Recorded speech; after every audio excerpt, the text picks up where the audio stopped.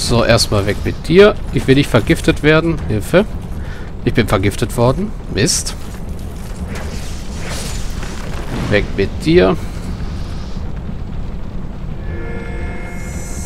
So, einmal Entgiftung bitte.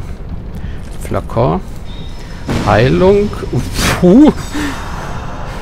Alles Absicht.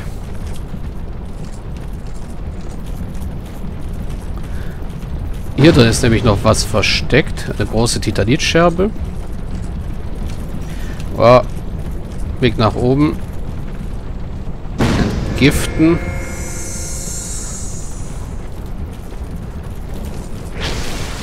So, und jetzt muss ich die Jungs hierher locken.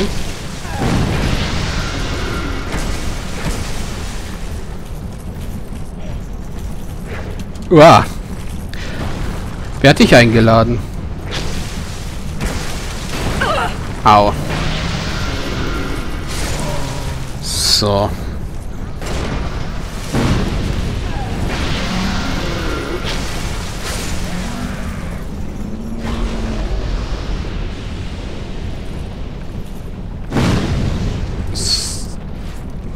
Muss ich die auf den Kopf ziehen? Oder dem da unten?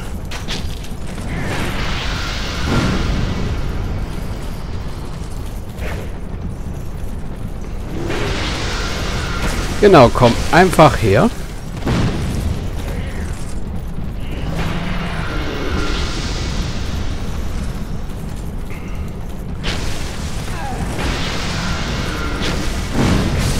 Und jetzt hat mich das Bombardement doch noch getroffen. Aber nur halb so wild. So, ich würde vorschlagen, wir plündern jetzt auf jeden Fall noch den Giftsee hier unten. Da oben ist übrigens eine Assassine. Und ich glaube, das Skelett da unten wird lebendig. Schein scheinbar doch nicht. So, zwei Lebenssteine zum Gegenheilen.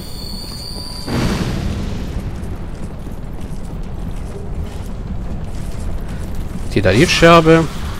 Weg mit dir. Noch eine Titanitscherbe. Ah, da drüben ist noch was. Titanitscholle. Und raus hier. Genau. So, wir haben die Löcher hier abgeklappert. Also das große Loch können wir ignorieren. Das ist einfach nur der Weg weiter raus. Da waren wir auch schon drin. Hier könnten wir Swagmaster 420 beschwören. So, gucken wir mal kurz in die Gegenstandskiste. Das kann weg. Das kann weg. Die beiden können weg. Wir hätten jetzt wieder einen gleitenseitigen Stein und ein versteinertes Etwas, das wir opfern könnten. Brauchen wir nicht. Wir haben einen Nodachi, das kann weg. Großschild des Heidenritters, das Schild kann weg. Chameleon kann weg.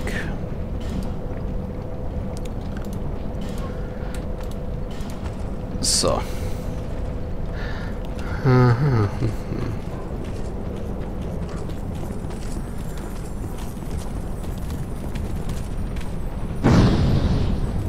So, jetzt ist hier alles natürlich respawned. Uns interessiert allerdings nur der Hammerwerfer hier oben.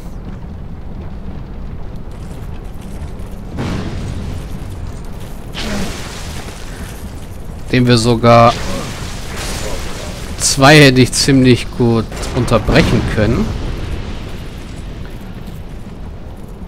So, wenn wir hier unten lang gehen, springt uns gleich der hier vom Dach. Genau, und wirft mit Giftdolchen und greift uns mit Blutungswaffen an. Ich will aber erstmal kurz hier unten lang gehen. Hier vergiftet sich nämlich erstmal der da. Und wir können ihn ausschalten. Also ja, in den ganzen Krügen hier ist Gift. Und wir haben die Irdenspitze erreicht. Wow.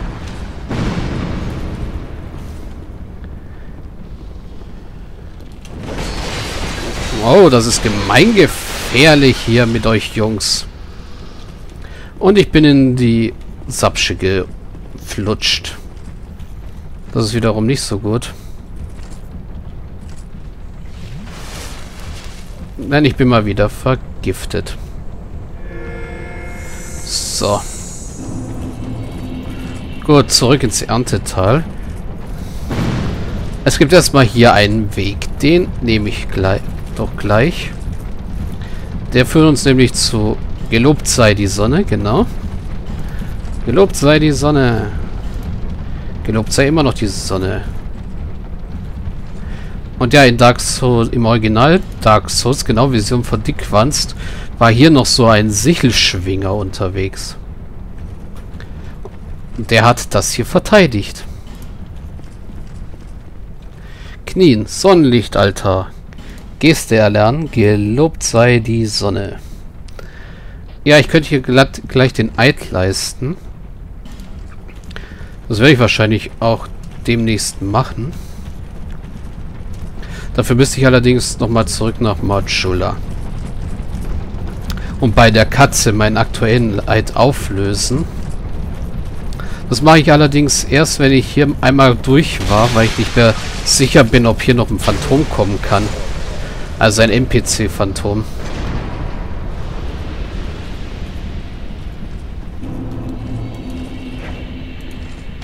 So. Ist praktisch, dass ich die einfach so unterbrechen kann.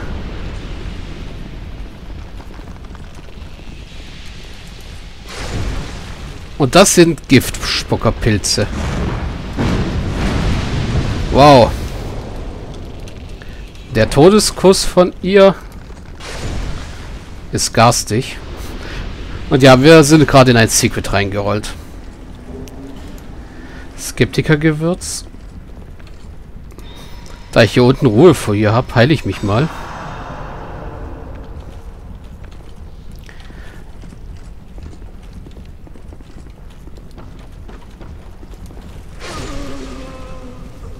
Genau, stirb. Da ist eine Bosswand.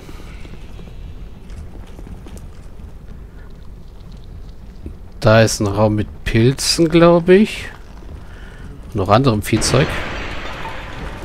Und ja, die Krüge hier sind auch übrigens neu. In denen die Jungs hier drin hängen. Wow. Und auf den hatte ich vergessen. Das kopflose Männchen. Häftlingslendentuch, also ja. Achso, hier krabbelt einer.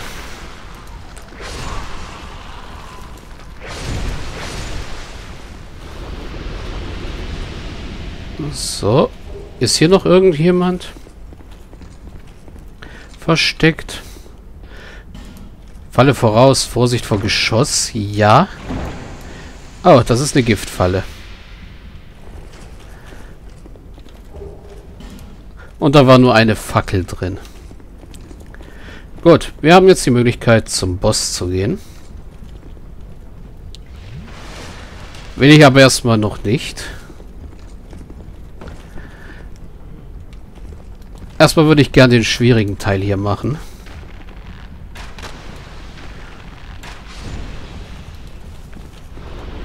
Also ja, der schwierige Teil hier rüber zu kommen ist einfach.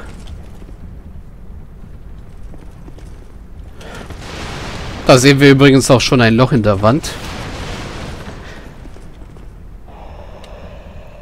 Ach, da bist du hin. Dahin bist du umgezogen.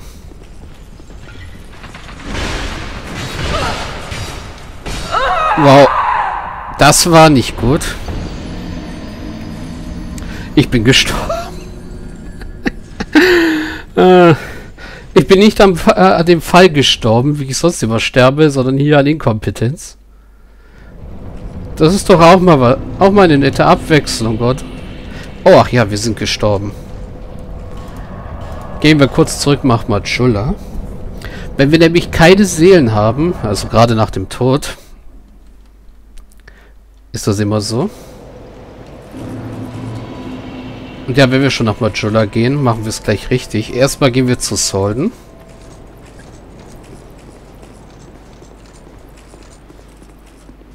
Hi, Solden.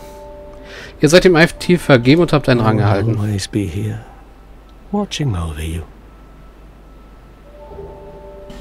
Jo, wir haben Stille erhalten. Dank.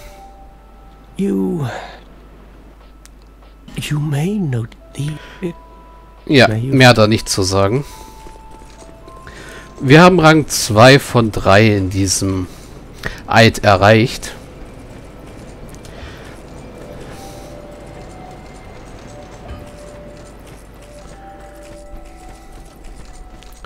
Und später können wir dann noch Rang 3 erreichen, wenn wir es richtig anstellen. Aber erstmal bei Schalkwa. You do have a good time. Ja, sie macht sich erstmal über unseren Geruch lustig. Jo, wir sind Rang 2. Wir können den Eid widerrufen. Ich mache das einfach aus Prinzip immer hier. Weil ich... Ja, es gibt, glaube ich, nicht im Spielerstatus, sondern in der Spielerinfo hier die Sündenstufe. Und ich weiß nicht, inwiefern es die Sündenstufe hochtreibt, wenn man seinen Eid bricht. Got. So, wenn, und wenn wir halt eine hohe Sündenstufe haben, werden wir vom blauen Phantom invasiert. Was auch nervig ist.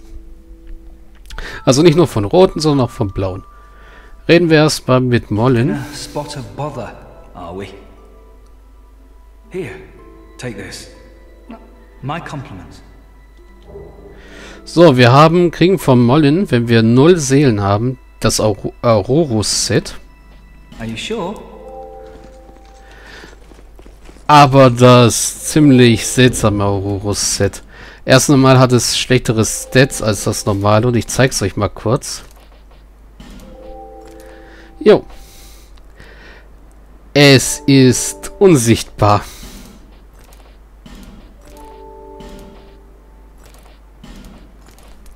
Aber einfach mal, um es euch zu zeigen.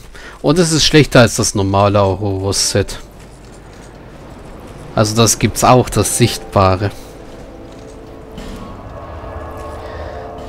So, packen wir das einfach mal weg, das Set.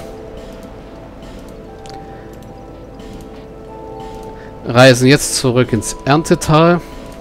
In die Minen. War ja ganz praktisch, dass wir jetzt gestorben sind. Auf der einen Seite konnten wir kurz zurückkehren, das Set holen. Und ja. Das Set holen. Und unseren Eid auflösen.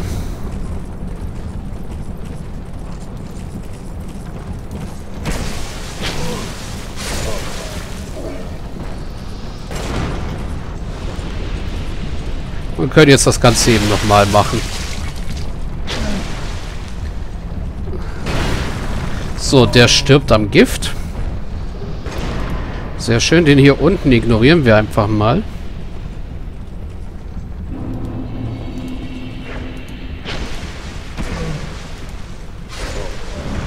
Die da oben machen wir jetzt mal safe weg. Die trifft uns hier, von hier aus nämlich nicht. Wir treffen dafür sie. So, eine Titanitscherbe ist immer gut.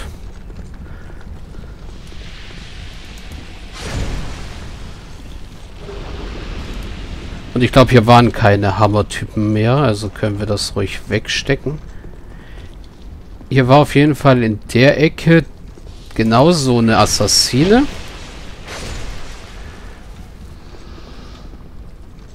So. Den hatten wir runtergeholt, also holen wir ihn nochmal runter. Und ach ja, ich hatte vergessen, ich wollte ja eigentlich...